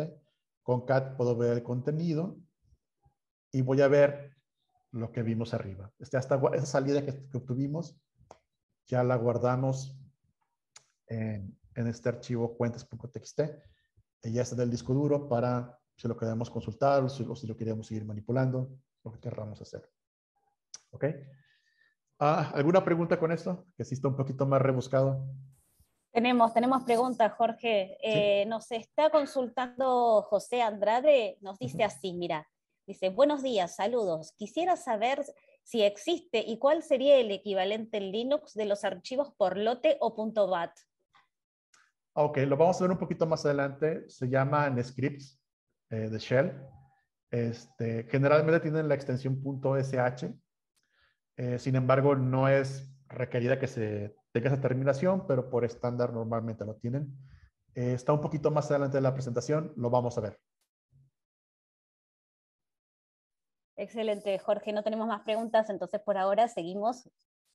Genial. Ok, ah, vamos a continuar. Eh, vamos a hacer... Ah, este es el mismo, perdón. Ok. Ah, vamos a hacer otro pequeño juego con, con nuestro archivito de libros TXT. Lo que vamos a hacer ahora es cambiar el orden. Vamos a cambiar, el lugar de que sea eh, título del libro, coma, autor, vamos a poner autor, coma, el título del libro. Y para eso lo que vamos a hacer es primero eh, quitar el punto final que está en cada línea. Le vamos a quitar ese punto. Vamos a volver a parsear con AWK, AWK, perdón, las dos columnas, la de título y autor. Las vamos a invertir colocándoles una coma y nuevamente el punto al final. ¿Ok? Eso es lo que vamos a hacer con comanditos de Linux nada más. Eh, vamos a, recordar qué es lo que tiene el, el archivo libros.txt. Eh, con tail vamos a quitarle las primeras tres líneas, que es ese header que tenemos por ahí. Le contenemos a un nuevo comando que no hemos visto que se llama set. Set lo que puede hacer es retirar eh, texto. En este caso le estoy diciendo, retírame el último punto de cada línea. Y se fijan, ya no tiene el punto al final del, del nombre del autor.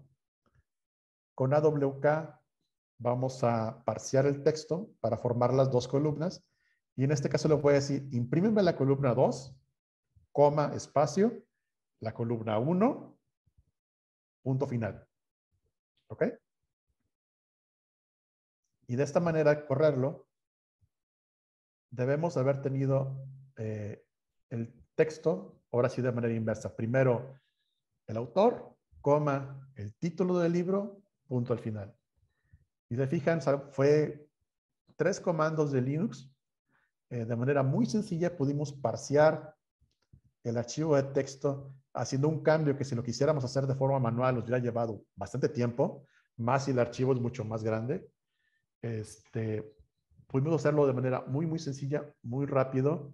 Este, y esto sirve mucho principalmente cuando tienen archivos de configuración o, o tienen muchos archivos que quieren modificar este, de forma rápida. Por ejemplo, tengo archivos de configuración donde está una cierta IP.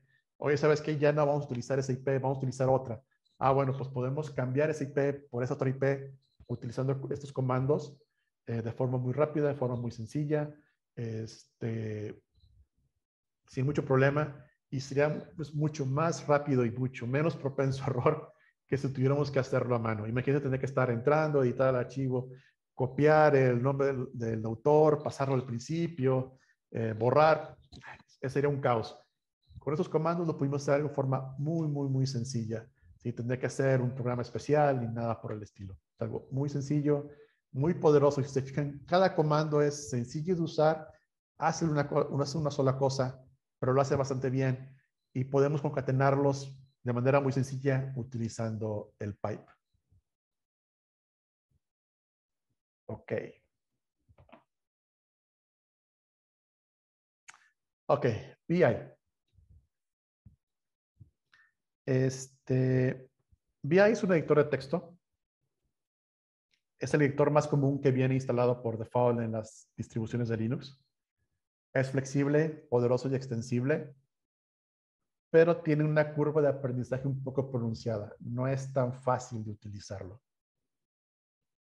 Eh, sin embargo, es el más común y si van a, saben que es casi seguro que está instalado por default. Tiene tres modos de operación, el normal, que es el que podemos navegar a través del archivo, el modo insert, que es para insertar texto nuevo o para modificar el texto, y un modo visual, que es para seleccionar texto. ¿Ok? Um, pude haber utilizado el VI que viene por default en Linux, eh, en esta ocasión, por cuestiones de, la presentación, voy a utilizar el VI que tengo instalado en mi Mac. Que tiene plugins para que se vea un poquito más bonito. Eh, la funcionalidad es la misma, se, usa exactamente igual. Eh, sin embargo, por cuestiones de, la presentación, es más sencillo mostrarles la, la, versión que ya tengo mejorada, por así decirlo, con plugins, eh, para que vean principalmente el cambio de, de, modo entre el modo insert, el modo visual y el modo normal.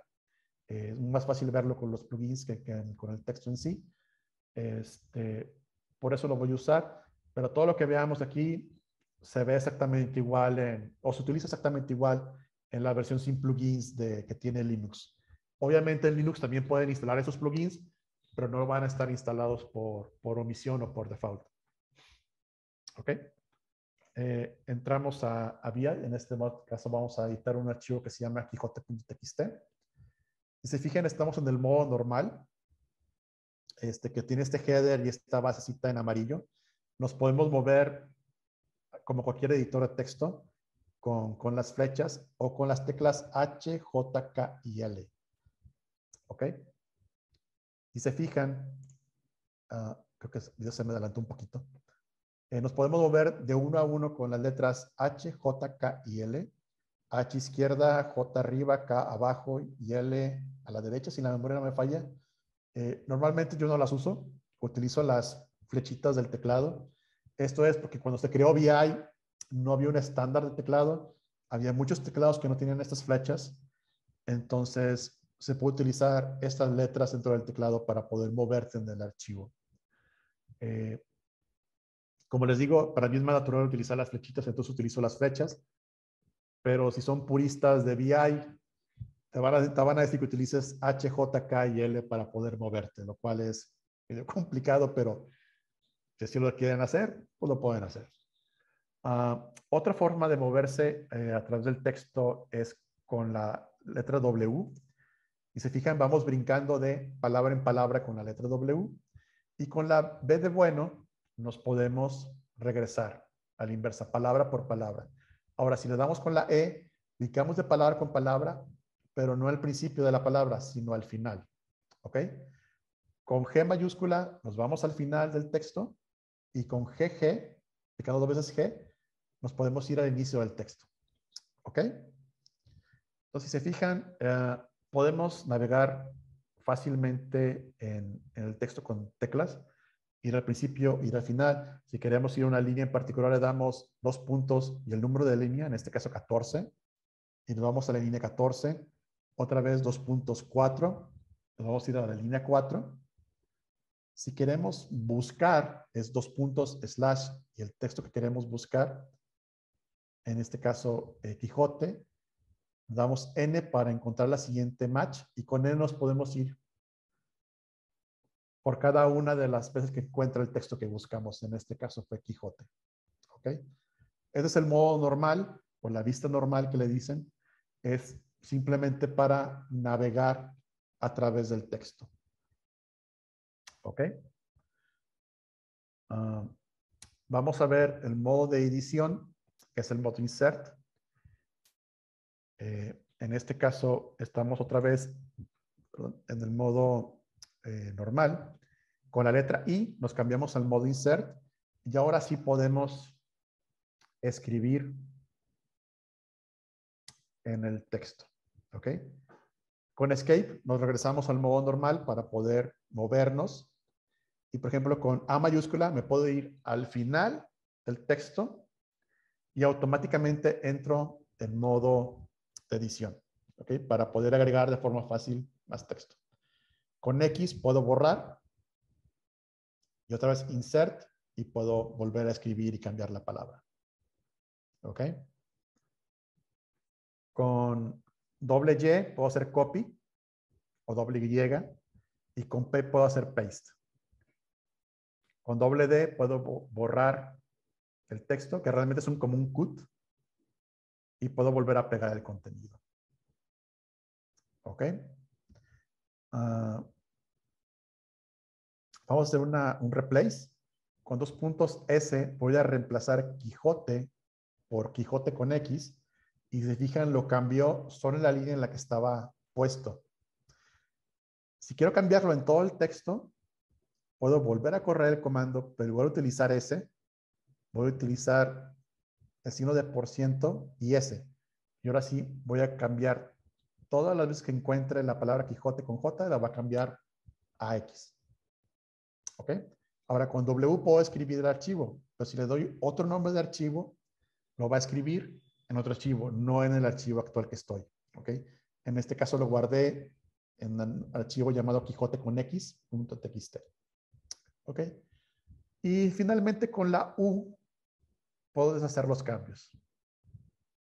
Puedo, todo lo que había escrito y modificado y hecho, lo puedo deshacer paso por paso con la W. ¿Ok? Con la W, perdón, no, perdón, con la U. Eh, con dos puntos Q es para salir del editor. Y vamos a ver el modo visual. Ok, ese es el mismo. Vamos a regresar al editor. Ups, me ven que un comando. Este es el de... Sí, este es el modo visual que pueden entrar con V, presionando la letra V, y pueden seleccionar texto, lo pueden copiar con Y, lo pueden pegar con P. ¿Ok? El modo visual es simplemente para poder seleccionar texto, ¿no? Para copiarlo, para borrarlo, para correr algún comando solamente en ese texto. Para eso sirve simplemente el modo visual. Ahora, si no quieren utilizar VI, porque sí es, la verdad, sí tiene una curva de aprendizaje eh, medio importante, existen otros editores de texto como Nano, aunque no siempre está instalado por default, pero lo pueden instalar fácilmente con apt o con Joom. Y es un editor de texto más común. Eh, sigue una filosofía más como un Notepad o como un Word. Eh, es mucho más sencillo de utilizar. Eh, tiene los comandos en la parte de abajo para copy, paste, para salir. por aquí hay, un problema con las con el texto fuera del ASCII 7.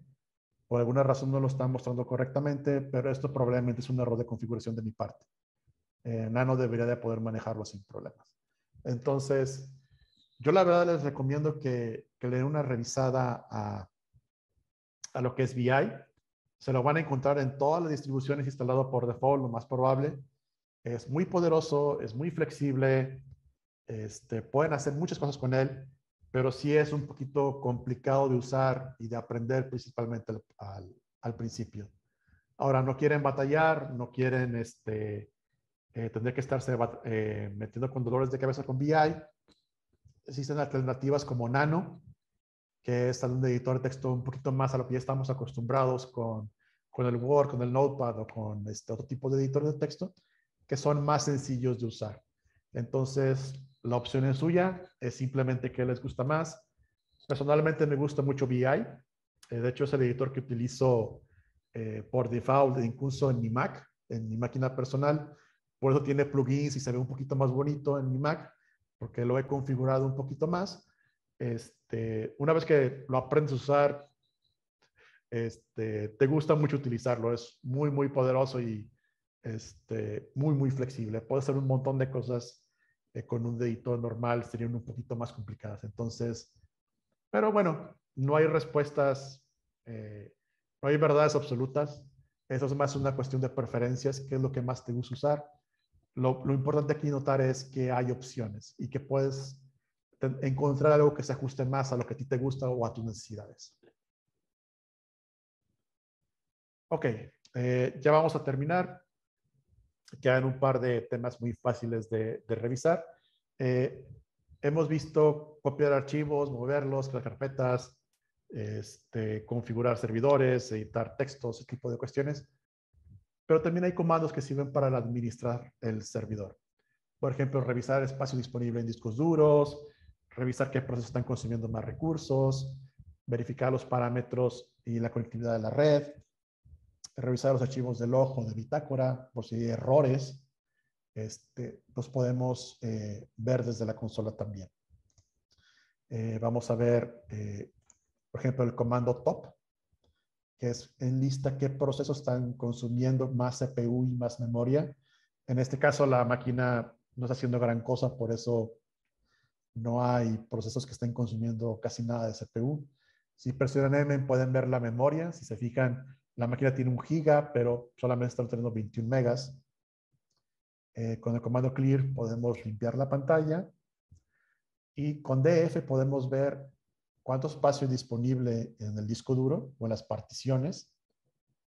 Si queremos ver cuánto eh, ocupa una carpeta en particular, podemos usar DU. En este caso, la carpeta Downloads tiene 124 megas usados. Comando IP ADDR Show nos muestra las IPs asignadas a las interfaces de red. Eh, comando IP realmente puede hacer muchas más cosas. Pueden asignar, remover, quitar, poner IPs. Y el clásico ping, ¿no? Que pueden ver si pueden llegar a una máquina en particular a través de la red. En este caso, pues estoy haciendo pings al 48, que es el servidor DNS de Google. Pues son comandos muy sencillos que les puede servir para ver y administrar lo que es un servidor, ver problemas. Ah, scripting. Eso es lo que habíamos, lo que por ahí una pregunta sobre eh, la equivalencia de los archivos BAT de Windows en, Linux. Es el scripting. Son scripts que permiten la automatización de tareas repetitivas, permite la ejecución de varios comandos en una sola instrucción, ayuda a la estandarización de varios, eh, de varios servidores, porque al correr un script eh, te aseguras que están configurados de la misma manera varios servidores. Ayuda a evitar el error humano porque este, al final de cuentas no estás corriendo comandos de forma manual, sino solamente corres un script y el script no se va a equivocar. Este, entonces vamos a ver un pequeño script en este caso, vamos a crear eh, un pequeño reloj, por así decirlo. Con el comando date les imprime la, fecha y la hora actual. Entonces, en este directorio que es el raíz que tenemos de nuestro, nuestro home, vamos a usar el comando touch para crear un archivo vacío, en este caso reloj.ch. Vamos a enlistarlo. Si se fijan, el archivo no tiene permisos de escritura, digo, de, de ejecución. Se lo vamos a agregar con el comando change mode le vamos a agregar permiso de ejecución a todos, por eso es la A. Y ahora sí vamos a editar el archivo. Vamos a crear un pequeño script que se va a ejecutar como batch. Decimos while true, dos puntos do. Quiere decir que va a estar iterando por siempre. A una variable now vamos a, a guardar el resultado del comando date y vamos a imprimir en consola eh, slash R para irnos al inicio de la línea, eh, el contenido de now, nos vamos a dormir por un segundo y con, do, y con el comando down cierro el ciclo. Con WK escribo y salgo del editor. Y ahora sí, para correrlo le digo punto slash reloj.ch y está corriendo nuestro script se fijan, como le di slash R, se regresa y escribe sobre la misma línea. Con control C puedo detenerlo. Y antes de correr esto, ah, con control C puedo detener la ejecución. Ahora, este script fue muy sencillo, simplemente imprime en pantalla eh, la fecha y la hora actual. No es algo que sea muy útil realmente pero eh, pueden ser crear scripts de instalación en las que ustedes pueden eh, instalar software este, de manera eh, corriendo solamente un script, eso es mucho más útil. En este caso voy a enlistar un script que yo hice para instalar el Node Exporter. El Node Exporter es un software que exporta métricas para el sistema de monitoreo Prometheus. Eh, hasta cuando creé este script no existía un paquete en el manejador de paquetes de Debian, entonces lo que hace el script es descarga el código fuente, lo compila, compila, no lo compila, o baja ya un binario, no baja ya un binario, perdón. Baja el binario, eh, lo configura, lo copia en un, en un directorio particular, crea un usuario para correr este exportador con permisos limitados, este, lo liga al systemd, Ah, para poder controlarlo desde el System Control, Entonces, toda esa configuración y toda instalación la hago con este script. Ah, vamos a listarlo con, con, el comando cat. Si se fijan, eh, el archivo es mucho más grande que se ve en consola, por eso nomás vemos la última parte, pero podemos poner pipe y more, y lo que va a hacer es mostrarnos la primera parte, y podemos ir viéndolo poco a poco, ¿ok? Si se fijan, este es un script mucho más completo, con comentarios, este, que hacen muchas más cosas, pero todos son comandos que hemos visto el día de hoy. Voy a editarlo con VI para que vean ah, un poquito más con, con, colores eh, que VI les puede mostrar cuando son comentarios, cuando son textos, este, cuando son comandos que nos ponen amarillo. Entonces, aquí está el apt para actualizar el sistema operativo, eh, tenemos mkdir para crear archivos, RMs para borrar, change mode para cambiar el, modo de operación, este, o los permisos en este caso, perdón, eh, move para mover directorios, archivos eh, y este tipo de cuestiones. Entonces, si se fijan, es un script mucho más completo, mucho más complejo. tiene funciones, hace validaciones, realiza descargas, configura configura archivos ah, de, configuración, crea usuarios. Esta es algo mucho más completo. Entonces, en lugar de hacer esto manualmente, en cada máquina simplemente tengo un script que lo corro de una sola vez este, y me va a hacer todas esas tareas, que es básicamente el equivalente de, de un archivo BAT en Windows, para poder hacer instalaciones o cualquier otro tipo de cuestiones.